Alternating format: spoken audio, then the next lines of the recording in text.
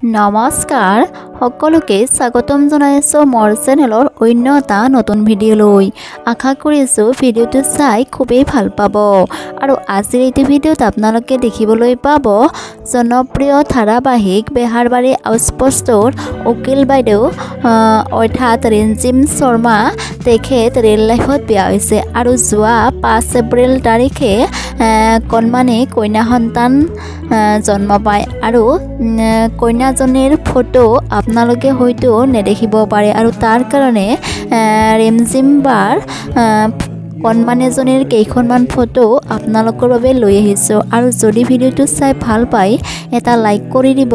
আৰু যদি মোৰ চেনেললৈ নতুনকৈ আহিছে চেনেলটো ছাবস্ক্ৰাইব কৰিব। একেবাৰে নাপাহৰিব।